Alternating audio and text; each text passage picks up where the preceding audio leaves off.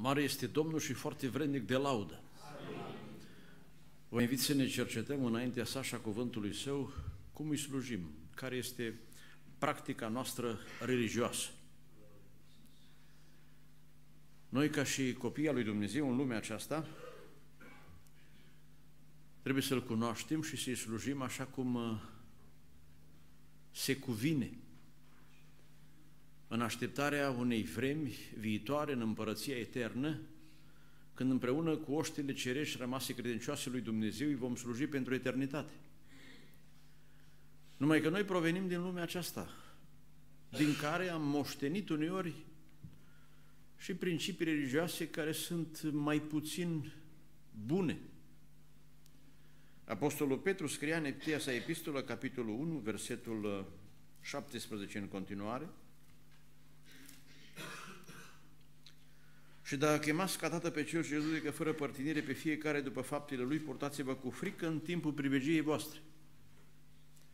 Că știți că nu cu lucruri peritoare, cu argint sau cu aur ați fost răscumpărați din felul de șer de viețuire pe care îl moșteniserăți de la părinții voștri, ci cu sângele scump al lui Hristos, mielul fără cusur și fără prihană. Deci pentru a fi câștigați întru totul pentru Dumnezeu, trup, suflet și duh, s-a plătit mare preț pentru noi. Ca să putem sluji lui Dumnezeu într-un duh nou, ceea ce este foarte important și de dorit pentru fiecare dintre noi. Domnul spunea femeii samariteni, ce scrie în Ioan 4, voi vă închinați la ce nu cunoașteți. De aceea vreau să ne cercetăm, cum am spus, felul în care cunoaștem, felul în care ne închinăm și slujim lui Dumnezeu. Pe când spunea Domnul despre el, despre evrei rămași credincioși Scripturilor, noi ne închinăm la ce cunoaștem. Și e foarte important să știi, cum spunea Apostolul Pavel, cui slujești. Asta pentru că trebuie să ne bazăm întreaga noastră viață spirituală pe Cuvântul lui Dumnezeu. De exemplu, citesc din 1 Timotei, capitolul 4, de la versetul 1 unde este scris, dar Duhul spune lămurit că în vremurile din urmă, și cred că noi le trăim, unii se vor lepăda de credință ca să se lipească de duhuri înșelătoare și de învățătura demonilor. Și enumeră câteva stări vinovate, deplasate, în care oamenii pot să trăiască. Și asta cu nuanță religioasă. De aceea Pavel îi spune lui Timotei, versetul 6, dacă vei pune în mintea fraților aceste lucruri vei fi un bun slujitor al lui Hristos, fiindcă te hrănești cu cuvintele credinței și ale bunei învățături pe care ai urmat-o până acum. Și în continuare îi dă sfaturi concrete în care îl învață să fie atent la ceea ce citește. Adică să-și bazeze învățătura pe ceea ce este scris și apoi să fie atent la felul cum învață. Ca în final scrie în versetul 16 să se mântuiască pe sine și pe cei ce îl ascultă. Pentru că este foarte important să avem o viață religioasă corectă. Pentru că Dumnezeu ne-a dat harul să-L cunoaștem, să ne închinăm potrivit cu adevărul. Să nu ne abatem în anumite practici care sunt uh, în cel mai bun caz degeaba, dar pot să fie vinovate, după cum spunea Domnul. Degeaba mă cinstesc ei, dar mai zicea, ați desfințat cuvântul lui Dumnezeu în folosul datinii voastre. De aceea este datoria noastră, în primul rând, a celor ce predicăm, dar a oricui care citește Scriptura, a oricui care vrea să slujească lui Dumnezeu, să se verifice în practica sa religioasă. Vreau să împărțim această lecțiune în două capitole. Mai întâi, viața religioasă ascunsă sau particulară. Și în a doua parte, viața religioasă publică sau comună. Spunea Domnul Hristos, citesc din Luca, capitolul 21, de la versetul 37, cu privire la vremea din urmă, vegheați, dar în tot timpul și rugați-vă. Și în continuare este scris despre ceea ce făcea și el. Ziua Iisus învăța pe norod în templu, asta e viața religioasă publică. Iar noaptea se ducea de o petrecea în muntele care se cheamă Muntele Măslinilor. Și tot norodul venea dis de dimineață la el în templu ca să-l asculte. Din nou revenea în viața publică. În ce privește viața religioasă ascunsă, citim din Evanghelia după Matei, capitolul 6, cuvintele Domnului Hristos, care condamna pe farisei care nu aveau decât o viață religioasă publică, adevărată, bună. Pentru că în ascuns ei difereau total, erau duplicitari. Așa se spune că un bărbat știa să predice frumos. Și când îl auza nevastă sa la învon, zicea, de rămâne acolo că tare bine știi să spui. Și când era în bancă și auza că îl numesc și îl cheamă la predică, îi spunea, de nu te-ai sui că nu-i drept și tu nu trăiești ce spui. Tipul de fariseu. La fel se poate întâmpla și cu cel care cântă. Când cântă să fie pe înălțimile cerului și când s-a încheiat mâncarea, când s-a încheiat cântarea și nu mai participăm la masa comună a adunării, în particular, așa în trăistuța noastră, să avem un alt meniu, să avem alte activități, alte trăiri. Dar să citim din Matei 6 cuvintele Domnului Hristos, de la versetul 1, luați seama să nu vă îndepliniți neprihănirea voastră înaintea oamenilor. Ca să fiți văzuți de ei al minteri, nu veți avea răsplată de Tatăl vostru care este în ceruri. Tu, dar, când faci milostenie, un exemplu de viață religioasă, că religiunea constă în a cerceta pe orfani și pe văduve. Și asta e viața religioasă ascunsă. Tot aici este scris, versetul 5, când vă rugați. Avem rugăciune, cum am avut și adineaur, publică, comună, dar iată și ce a ascuns.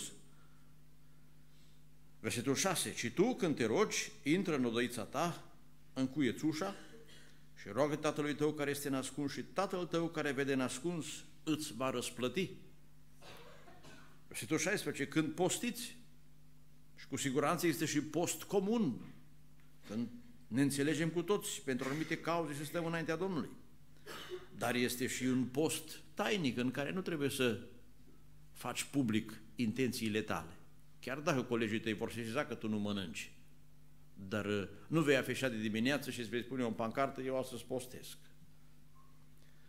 Ci tu când postești, îmbracă-te normal, ca și în rest, ca să te rească postești nu oamenilor, ci Tatălui tău care este în ascuns, care vede în ascuns și El îți va răsplăti. Să ne amintim de Daniel despre care scrie în cartea sa, capitolul 6, versetul 10, că de trei ori pe zi se retrăgea în camera lui, se orienta spre Ierusalim, după cum scrie în carte, se ruga și lăuda pe Dumnezeu. Aș putea spune că nu lipsea de la bisericuța lui niciodată. Sunt situații în care de aici trebuie să lipsim. Poate suntem la servici, poate avem probleme de sănătate, poate stăm cu copiii acasă, dar bisericuța noastră particulară, ea poate să funcționeze. Să ne facem un orar potrivit cu celelalte nevoi ale vieții, potrivit cu timpul pe care îl avem liber și să fim prezenți, căci Dumnezeu ne așteaptă aici, dar ne așteaptă și acasă. Tatăl care vede în ascuns, un Dumnezeu care e prezent unde doi sau trei. Și mai mulți, cum suntem aici. Dar la fel de omniprezent și în tainica noastră cameră. Aș mai adăuga în privința aceasta cele scrise în 2 Timotei, capitolul 1, versetul 3, unde Apostolul Pavel scria despre sine, mulțumesc lui Dumnezeu căruia slujesc cu un cuget curat, din moș strămoș că neîntrerupt te pomenesc în rugăciunile mele zi și noapte. Noi știm că el participa frecvent la slujbe, dar aceste rugăciuni de zi și noapte au fost rostite în particular cele mai multe. În cazul acestei epistole era deja în închisoare, dar și în alte epistole. el face referire la cugetul său, la relația sa tainică cu Domnul, pentru că aici se derulează adevărata viață. Spun aceasta referindu-mă la cuvintele Domnului din Ioan, capitolul 4, când femeia a întrebat, unde e locul unde să mă duc să mă închin? Cu alte cuvinte, transpunând realitatea noastră, la care biserică? Și iată ce îi spune Domnul, Ioan capitolul 4, versetul 21. Vine ceasul când nu veți închina Tatălui nici pe muntele acesta, nici în Ierusalim. Adică nu închinarea de la templu urma să mai rămână primordială. Versetul 23. Închinătorii adevărați se vor închina Tatălui în duh și în adevăr, fiindcă astfel de închinător dorește și Tatăl. Adică Duhul care ni s-a dat asigură legătura noastră în orice loc am fi. Ba mai mult, ne îndeamnă în orice moment din zi și din noapte, dacă nu suntem la lucru sau în odihnă, să intrăm în relație cu Dumnezeu. Duhul ne vrea cu gelozie pentru Tatăl. De aceea nu ne putem imagina un om care să aibă în el Duhul lui Dumnezeu și să treacă orele, ca să nu zic zilele, și să n-aibă inimă să se roage, pasiune să citească, dorință să cânte sau să desfășoare alte activități spirituale. Spunea Apostolul Pavel, 1 Corinteni, capitolul 2, făcând referire la Duhul lui Dumnezeu, că de la El vine cunoașterea, relația noastră cu Tatăl, toate sunt în ordine pentru un om duhovnicesc. Și spune aici în final, versetul 16, că cine a cunoscut gândul Domnului ca să-i poată da învățătură? Noi însă avem gândul lui Hristos. Acest gând al lui Hristos este acea stare care este adusă de Duhul în mintea noastră și ne îndeamnă să-L căutăm pe Domnul, să-L binecuvântăm. Știți că în cer este în permanență o stare de închinare și acele făpturi vii și cei 24 de bătrâni și mulțimile de îngeri se închină în permanență lui Dumnezeu și strigă Sfânt, Sfânt este Domnul care este, care era, care vine, mărit să-i fie numele.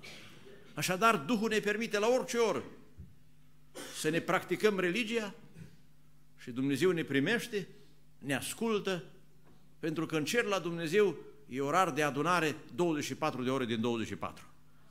De altfel, cred că ar fi foarte frumos și la Nădlac să fie în orice moment cineva, chiar dacă nu suntem înțeleși, cineva care cuget. Știți că Domnul nu știm când vine, la ce strajă, la ce oră, ce frumos va fi să ne găsească într-această stare de practică religioasă particulară. Dacă nu ne-ar găsi la adunare, să ne ducem toți de aici. Și dacă sunt unii care, de exemplu, nu au putut să vină, fiind cu copii mici, să ne întâlnim cu toți în văzduh pe nor și să nu rămână nimeni. Așa ar fi normal. Toți care au o viață religioasă vie să fie atrași ca magnetizați de Duhul lui Dumnezeu care i-a împins la această stare de har și de părtășie sfântă și să fie apoi prezenți pentru eternitate cu Domnul. De altfel, duminică este cina Domnului, da? E normal dacă vrem să stăm la masă cu Domnul să fie asta în urma unei părtășii pe care o avem zi de zi cu Domnul. Pentru că El este sărbătoritul nostru la cină, dar în același timp noi suntem un singur trup cu El tot timpul. Și dacă suntem din trupul Lui, cum ar putea cineva să spună că El nu poate să ia trupul Lui? Ar fi vreo excepție, știu eu, s-a întâmplat ceva, vreo ispit. I s-a întâmplat și lui Petru. Dar a plâns repede cu amar și și-a revenit. De aceea să ne grăbim și să intrăm în această stare de har. Să privim acum la viața religioasă publică. În mod deosebit derulată prin părtășiile sfinte. De la adunare, sau dacă sunteți mai mulți într-o familie, sau dacă vă adunați și mergeți în vizită unii la alții. aceste părtășii la care pot să participe și cei de afară. De aceea sunt publici. Întâlniri la care să fie prezenți și oameni care au 40-50 de ani de pocăință și unii care sunt copii în credință, prieteni, cum îi numim pe cei care vin pentru primele dăți, sau copiii noștri. Aceste părtășii de adunare trebuie să facă față acestor categorii, acestor nevoi. De aceea, în adunare, slujba este diversă. La cântare putem participa cu toți. La rugăciune fiecare nu avem o tipologie, cu siguranță fratele slujitor se va ruga diferit față de copilașul acesta care a cântat cel la microfon cu toată inima. Sau vreo soră va avea alte motive de rugăciune, o tânără au alte motive de rugăciune. Dar este o slujbă comună. Cei care predică după cum sunt călăuziți de Domnul vor avea poate un cuvânt pentru cei veniți la credință, lecții de cateheză, învățături începătoare. Poate vor avea o învățătură, o hrană mai tare. Pentru cei care s-au deprins, s-au obișnuit prin judecată, prin analiza lucrurilor sfinte. E foarte important ca la viața publică să participe toți și de asemenea să fie un timp în care creștem spiritual. Noi avem posibilitatea să ne zidim în mod particular, citind în Biblie, rugându-ne, cântând. Dar slujba religioasă comună are beneficii mult mai mari. Aici avem daruri sfinte, beneficiem de înțelepciunea celor mai maturi în credință și harul mare căpătat prin mult, spune Apostolul Pavel către Corinteni, face să sporească mulțumirile către Dumnezeu și viața noastră duhovnicească. Amin? Participați cu drag la aceste părtășii sfinte? Sau mai obișnuiți să lipsiți uneori? Vă aduceți tot aportul pentru îmbunătățirea vieții duhovnicești? Hai să citim câteva pasaje scripturale în privința aceasta și să vedem că Domnul a vrut ca noi să ne dezvoltăm spiritual în unitate, la nivelul adunării. Spunea Domnul Hristos, citesc din Ioan, capitolul 17, de la versetul 21. Uh, mă rog ca toți să fiu una cum Tu, Tată, ești în mine și eu în Tine. Pentru ca lumea să creadă că Tu m-ai trimis. Versetul 23. Eu în ei și Tu în mine, pentru ca ei în chip desăbrășit una să fie, ca să cunoască lumea că Tu m-ai trimis și că i-ai iubit cum m-ai iubit pe mine. Iată că atât în raport cu Dumnezeu, cât și în raport cu lumea, e foarte important să se vadă unitatea noastră, iubirea între noi. De altfel, acesta este elementul care ne leagă. Elementul care face ca toate slujbele să capete o nuanță plăcută. Că dacă e un predicator care predică frumos, dar e supărat pe el sau știu eu ce ți este antipatic, să fie ca o mâncare bună, dar tu ești un om bolnav. Sau hai să dăm vina și pe predicator, ca o mâncare bună dacă ar fi fost caldă. Dar dacă e rece, este riscul să te intoxici. Dar dacă toate se derulează în dragoste, există zidire. Așa după cum vă citesc din Efeseni, capitolul 4 și iar vă întreb cât suflet puneți și cât investiți ca la aceste slujbe viața religioasă a adunării să fie o binecuvântare.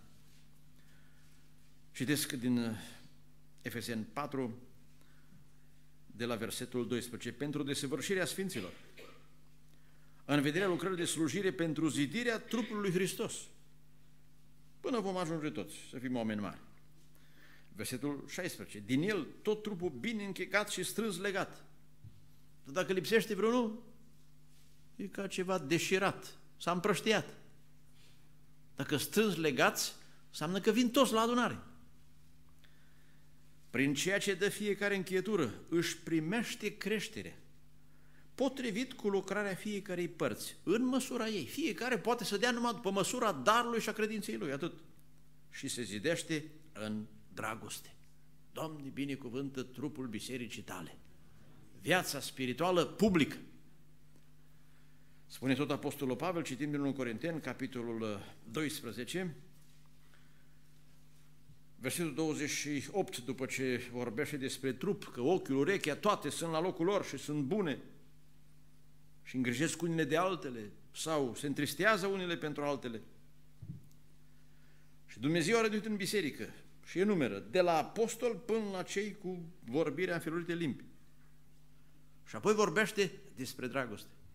Pentru că e foarte important să avem și daruri, să avem și dragoste. Și apoi în capitolul 14 citesc versetul 26. Ce este de făcut atunci, fraților, când vă adunați la oaltă? Unul din voi o cântare, altă o învățătură, altă o descoperire, altă o vorbă în altă limbă, altă o tălmăcire. Tot de să se facă spre zidirea sufletească. Iată scopul. Și în final, mă adaug și de la versetul 39, Astfel, deci, fraților, râvniți după prorocire, fără să împiedicați vorbirea în alte limbi, adică fiecare dar slujbă să ajute pe cealaltă, nu să o frâneze, dar toate să se facă în chip cuvincios și cu rânduială. Aici, în Corint, erau câteva probleme și apostolul a fost nevoit să le pună la punct. Există riscul să funcționăm anacronic, fără reguli, așa ca și o formație și instrumente dezacordate, sau să nu avem nicio formație și să nu se facă nicio repetiție. Cum v-ați dori? Fără fanfară sau să aveți o fanfară care, cine știe puțină muzică, să spună că oare e fanfară sau ce e cu gălăgia asta? Dar dacă fanfara nu poate să funcționeze decât cu partiturile în față și cu repetiții, credeți că adunarea funcționează așa de la sine? Ne adunăm cu gândurile noastre, cu pornirile noastre, venim 200 de eu aici și ne întrebăm dacă mai are loc el aici. Dar dacă fiecare își aduce contribuția lui, potrivit cu darul care Dumnezeu l-a dat, dacă fiecare se roagă, de exemplu, de la seara aceasta, ce ați așteptat? Sau cu ce ați vrea să vă întoarceți acasă? Se îmbogățește, se întrejește viața dumneavoastră religioasă, publică, cu încă o seară de adunare. Fie harul Domnului peste noi de fiecare dată. Pentru că Domnul ne vrea să ne completăm nevoile noastre duhovnicești, să ne echipăm, să creștem spiritual cu viața spirituală ascunsă și cu cea din adunare. După cum Apostolul spunea, citim din Cartea Faptele Apostolilor, capitolul 20, uh, de exemplu, vorbea despre slujirea din Efes, versetul 20, știți că n-am ascuns nimic din ce vă era de folos și nu m-am temut să vă probudesc și să vă învăț înaintea norodului și în casă. În ambele situații. Și spuneam că dacă acasă Duhul Sfânt asigură legătura cu Dumnezeu, în adunare, nu tot Duhul Sfânt este cel ce asigură relația cu Tatăl, cu tronul ceresc? Nu tot prin Duhul trebuie să deruleze toate slujbele și toate lucrările? Și toate acestea cu un scop. Duhul și mireasa zic, vino, vino, Doamne Iisuse. Așa că fiecare să își dea toate silințele. Pentru că viața noastră spirituală nu-i numai publică, nu-i numai particulară. Să nu cădeți în ispita de a vă baza, cum îmi spunea cineva, frate, eu sunt tare ocupat, dar mă silesc să nu lipsesc de la adunare, că și cam cu ce primesc acolo rămân, că în rest n-am timp. Nici să nu cădeți în extrema cealaltă să spună cineva, auzi, am auzit și asemenea voce, eu personal, să meargă la adunare regulat care mai slăbu, să se întărească. Eu mă descurc dacă mă duc o dată pe lună. Dar cum se face că de mâncat avem nevoie tot des, așa e? O dignă în fiecare noapte. Să respirăm de nu știu câte ori pe minut. Toate acestea sunt absolut necesare. Și cum se face că la slujbele sfinte, fie că ne permitem uneori să dăm câte o pauză, sau alteori avem așa o participare, dar pasivă. Se spune că într-o iarnă au plecat doi copii, nu prea mari, cu colindul, și dând de bani și nefi în fric tare, s-au tot dus prin sat. Până n-am mai știut ei aici cine stă și acolo cine locuiește. Și au ajuns la o clădire, s-au uitat, ei nu se mâna acasă de locuit. Geamurile mai sus. Până la urmă au zis, măi, intrăm, ce-o fi aici? Seamănă ca la școală. Și s-a cățărat unul în spatele celuilalt să se uite, ce-o fi? Și tot se uita și ăsta de jos nu mai putea ține. Și întreabă cel ce îl ținea în spate, pe cel de sus ce privea, auzi, ce vezi, intrăm sau nu intrăm? Mă zice, nici eu nu știu. Sunt niște oameni. Da, așa stau, de fac ceva ce îți vine să zici că nici lor nu le place. Era o adunare. A fost declarația unui copil. Și uneori copiii surprind niște adevăruri fără diplomații și fără protocol. Ei, Domnul și îngerii privesc nu doar așa prin geam ca și copiii și își dau cu părerea. Privesc la noi, așa -i? Dacă stând de vorbă cu cineva, n-ar fi frumos să te uiți în altă parte. Dar când suntem înaintea Domnului și când slujim pentru binele adunării, așa e că trebuie să dăm tot sufletul aici, să participăm cu toată inima. Așa ca David care spunea un lucru cel de la Domnul și îl doresc fierbinte. Aș vrea să mă duc mai des la adunare.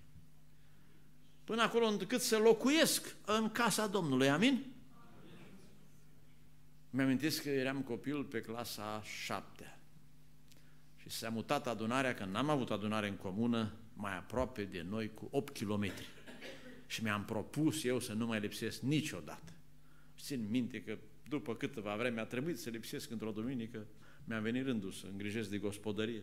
Și așa m-am necăjit că N-am putut să fiu la adunare. Mai târziu mi s-a întâmplat să-mi permit odată să nu mă duc într-o joi datorită unor activități.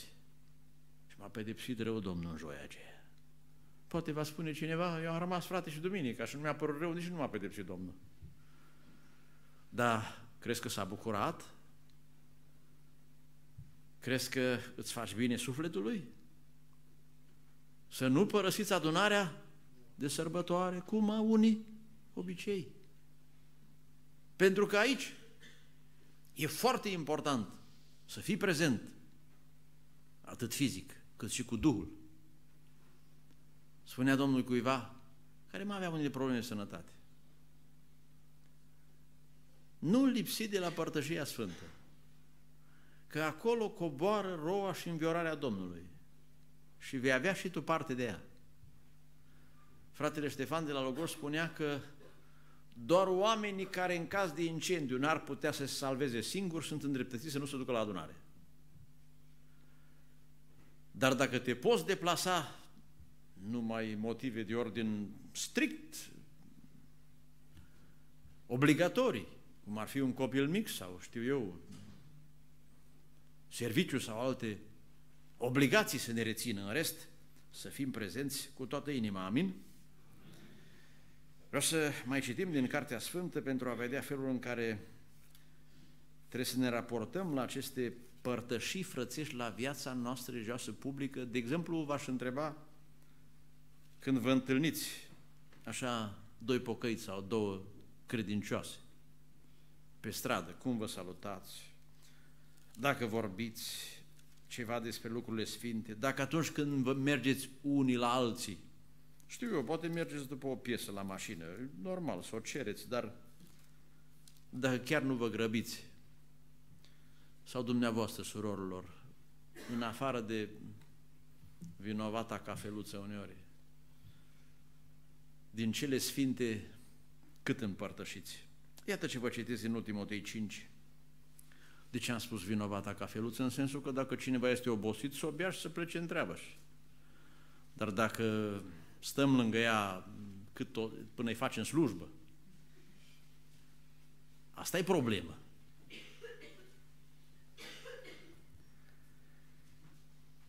1 Timotei 5 cu 1, nu mustra cu asprime pe un bătrân. De exemplu, vine un tânăr și predică.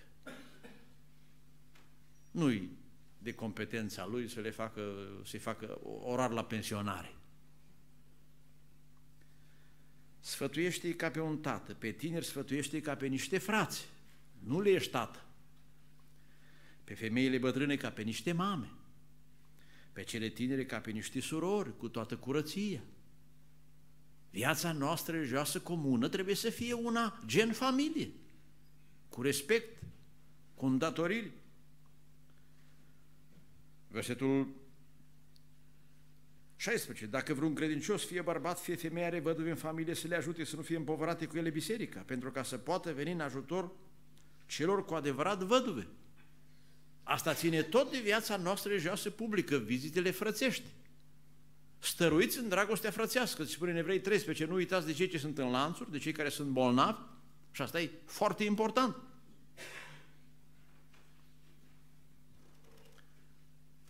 Uneori mai promitem că mergem în vizită sau că ne rugăm pentru cineva. Nu vi s-a întâmplat. Și parcă uităm.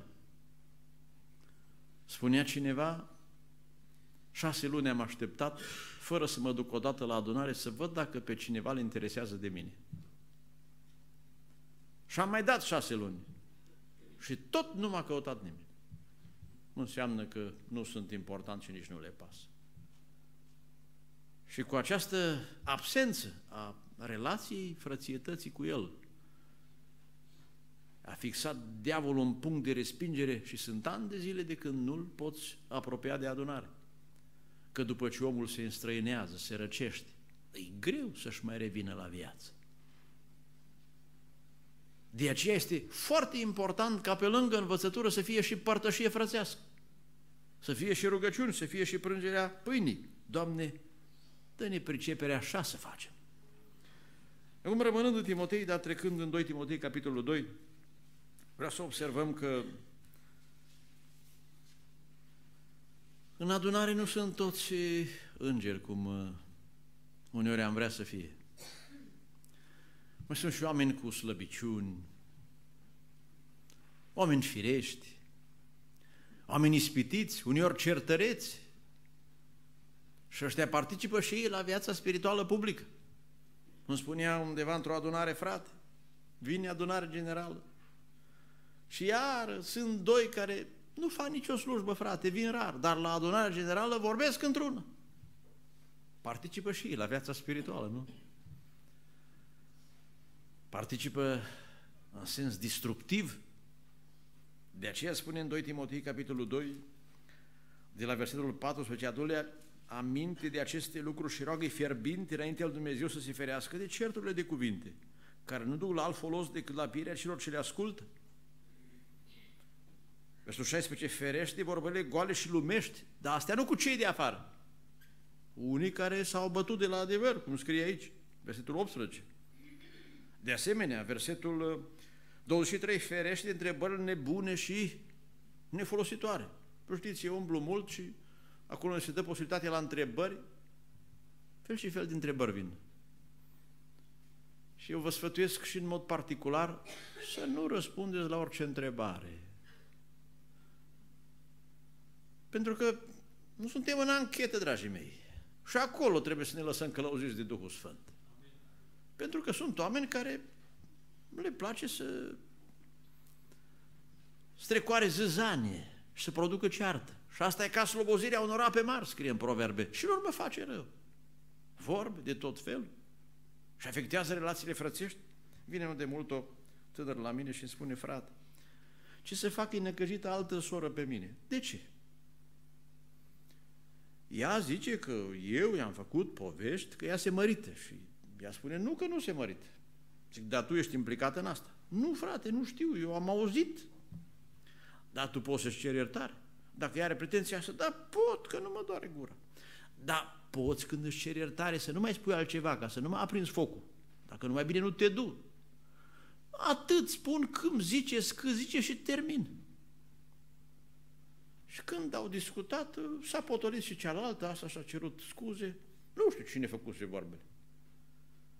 Că uneori în loc să răspundim adevărul, așa cum e scris în Efesem 4, fiecare să-l spună aproape lui său, mai ne facem și poșta și diavolului așa.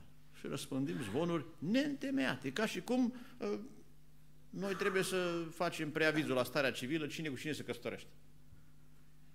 Doar astea intră în proceduri legale, dacă va fi nuntă, se anunță. Nu știu de ce îi frământ atât de mult pe unii, ca să afle toate lucrurile mai repede decât e normal și oficial. Dar pasaje din Scriptură, astea să le țină pe de rost, mai greu. Să îmbărbăteze asta, iarăși greu. Deci viața religioasă comună implică și probleme. Când Moise s-a dus pe munte, știți ce vorba lăsa la evrei? Dacă aveți vreo ceartă, e aici Aron și Hur. Bănuia el că ăștia, fiind împreună, o să aibă ceva neînțelegeri. Și atâtea erau încât s-au uimit socrul lui când l-a văzut că de dimineața până seara nu mai termina. Și a împărțit poporul administrativ până la 10 oameni. Pentru ca să fie liniștiți. Și un ultim aspect pe care îl precizez în ce privește viața noastră spirituală publică, comună, să nu ne lăsăm influențați de principiile și de practicile din lume. În adunare, nu-i nici ca la ședința de partid, nu-i nici ca la școală într totul, în adunare, Duhul lui Dumnezeu trebuie să aibă primul cuvânt. În adunare, slava lui Dumnezeu trebuie să nu lipsească. Tot ce faceți, cu cuvântul sau cu fapta, să facem în numele Domnului și totul să fie pentru Domnul. De aceea să nu încercăm să introducem în cadrul adunării principii lumești. Și acestea pot fi accentuate de oameni firești. A întrebat cineva odată pe un slujitor printr-un bilețel din ceea ce ne-a spus cât sunt principii biblice care pot fi dovedite cu referințe biblice și cât sunt uh, principii psihopedagogice. Au și acestea uneori o anumită capacitate de educare. Dar zice în Coloseni 2 că lucrurile care țin de învățătură și de reguli gâdilă firea pământească, dar nu sunt în stare nici să o răstignească, nici să aducă omul nou. Omul nou e lucrarea lui Dumnezeu prin naștere din nou. Și în adunare spune în 2 Corinteni, în Apostolul, în 1 Corinteni, capitolul 2, Apostolul Pavel, că lucrurile Duhului nu pot fi înțelese decât prin Duhul. Și omul firesc nu pricepe, nu primește lucrurile Duhului. De aceea vă recomand citindu-vă și din Evrei, capitolul 12, de la versetul 15, hai și 14, că e foarte important legat de viața noastră publică. Urmăriți pacea cu toții și sfințirea. Iată două obiective ale adunării. Pacea. N-avem voie să ne certăm. Robul Domnului nu se ceartă. Dar asta nici nu înseamnă că nu mai ținem la sfințire.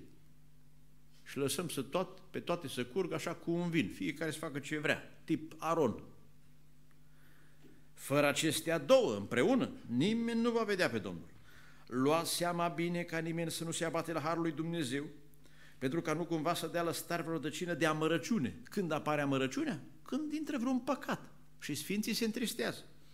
Să aducă tulburare și mult să fie întinați, adică răul pătruns se proliferează. Vegheați să nu fie între voi nimeni curvar sau lumesc ca Esau, care pentru o mâncare și-a vândut dreptul de întâi născut. Există acum un curent în țara aceasta prin care unii nu mai vor să participe la cina Domnului împreună cu ceilalți, temându-se să nu se facă vinovați. Într-adevăr, apostolul ne învață, dacă e vorba de un curvar, să nu stăm cu el nu numai la cină, nici la vreo masă de dragoste, că ăsta îi scapă ochii la prea curvie. Ăsta a spus pe românește, trage cu ochiul la femei. E tulbură părtășia. De asemenea, e scris să nu stai în părtășie cu un lacom. Că ăsta, dacă intră în afaceri cu frații, stai în șală. Și e bine să ne dezicem de el. Tot pe aceeași listă figurează defăimătorul. Pentru că clevetirea, vorbirea de rău, distruge adunarea. Unui astfel de om nu-i trebuie permis să fie nici acasă să stai cu el la masă, nu numai la cină, dar sunt alte liste, excluzând aceste stări vinovate care aduc rădăcini de rău. Cum e cea din Coloseni 3, unde spune mânie, vrăjmășie. Zice, acum lăsați voi toate acestea. De astea trebuie să ne pocăim oricare le-am avea, dar astea nu ne împiedică să nu participăm la cină. Că s-a supărat cineva sau că, știu eu, este mai mândru, îl va ajuta Domnul cu vremea să se zmerească. Cine știe ce greutăți lasă peste el și se lasă mai jos și el, ca să nu mai iasă în evidență să ispitească pe ceilalți. Deci, Scriptura face o delimitare clară între stările grave vinovății, dar de ăștia ne separăm și ca părtășii, nu doar ca cina Domnului. Pe când, având în vedere celelalte slăbiciuni care pot să apară, chiar oameni firești, spune în Corinteni 3, lumești, dar ei sunt copii în Domnul. Pe aceștia să îndemnăm și Dumnezeu să le ajute să se pocăiască. Poate e vorba de un băiat așa care e mai, știu, vă mai place fotbalul la câte unul? Așa, uite, Dumnealui a fost sincer și a spus că o poftă a firii pământești nu l-a părăsit. Dar ne vom ruga pentru el ca Domnul să le libereze. S-ar putea, știu eu, vreo fată să fie ispitită, știu eu, de ceva film sau de altă slăbiciune. Și nu ne vom grăbi să-i dăm afară din adunare. Păi tocmai de aceea îi îndemnăm să se roage acasă, Tocmai de aceea ne adunăm aici și ne învățăm unii pe alții ca viața noastră religioasă să ne aducă creștere spirituală și în final mântuire. Amin? Dar toate acestea, potrivit principiilor biblice, Doamne, ajută-ne! Așadar, frați și surori, să ne dăm seama că aici în adunare e ca în familie. E și tată, e și mamă, și frați mai mari, și mai mici și unii care încă nu s-au născut. Și de toți aceștia trebuie să ne ocupăm. Și în final Dumnezeu care ne este Tată la toți. Și Domnul Iisus Hristos care a spus, iată mama mea și frații mei, să ne cuprindă în marea familie cerească. Închei cu două idei scurte. Creștinul ca și individ și adunarea adică slujba ascunsă, particulară și cea publică, sunt cele două temple în care Duhul Sfânt face slujbă. În 1 uh, Corinteni, capitolul 6, versetul 19, este scris, nu știți că trupul vostru este templul Duhului Sfânt? Deci în trupul nostru, adică noi înșine, în mod particular putem face slujbă, că suntem templu și templul pentru slujbă. Proslăviți dar pe Dumnezeu în trupul și în Duhul vostru care sunt ale lui Dumnezeu. De asemenea, 1 Corinteni 3, cu referire la adunare, versetul 16, nu știți că voi sunteți templul lui Dumnezeu? Sau clădirea lui Dumnezeu, cum spune într-un verset anterior. Și dacă templul al lui Dumnezeu, El trebuie să guverneze în templul său. Venim la adunare să ne apropiem de Dumnezeu și să ne pregătim pentru a fi asemenea Lui și a trăi cu El pentru eternitate. Amin? Și într-o a doua idee de încheiere și ultima, citind din uh, Matei capitolul 5, de la versetul 13, cuvintele Domnului Hristos, vreau să înțelegem că deși nu facem reclamă cu pocăința noastră, deși în acest capitol Domnul ne înviață să avem o, o viață ascunsă, totuși spune foarte clar.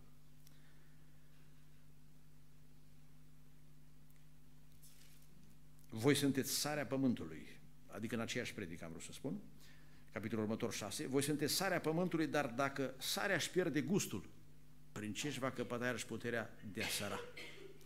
Voi sunteți lumina lumii. O cetate așezată pe un munte nu poate să rămână ascuns. Tot așa să lumineze și lumina voastră înaintea oamenilor, ca ei să vadă faptele voastre bune și să slăvească pe Tatăl vostru care este în ceruri. Sarea nu se vede, dar se gustă, sarea din noi. Lumina se vede. Aceste accente, adică o pocăință de exterior și o pocăință exprimată, trebuie să fie dovada unei religii adevărate. Amin? Amin? Pentru că Dumnezeu și chiar lumea din jur, pentru a cărei mântuire suntem trimiși în lume și pentru mărturie, ceea ce se va vedea la judecată, au nevoie de sarea și de lumina noastră. Uitați-vă la mai mari voștri. Și asta până la sfârșitul vieții, spune în evrei. Se spune că un om din Africa ce nu cunoștea prin originea sa nici creștinismul, nici mahomedanismul, n-a priceput prea mult din teorie, pentru că, vedeți, când e vorba de predică și de explicații, fiecare știe ce are de spus. Și îți vine să dai dreptate și la unul și la altul, dacă îi asculți pe rând. Dar și-a zis, ca să mă lămuresc și să mă convin care religie este bună,